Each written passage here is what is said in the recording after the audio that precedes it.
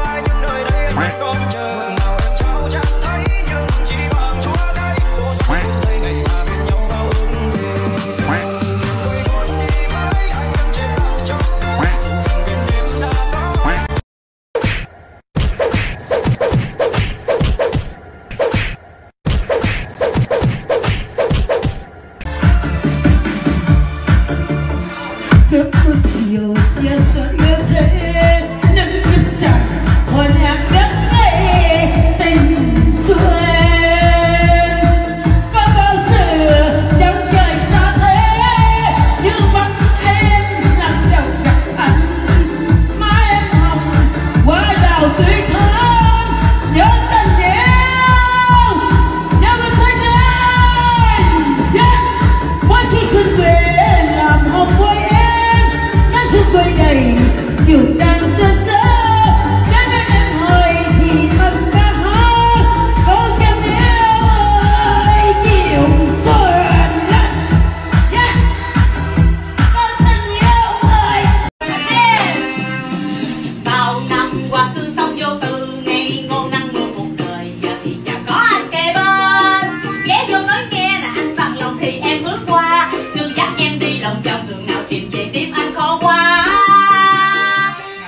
đừng làm chi ấy. Ơi anh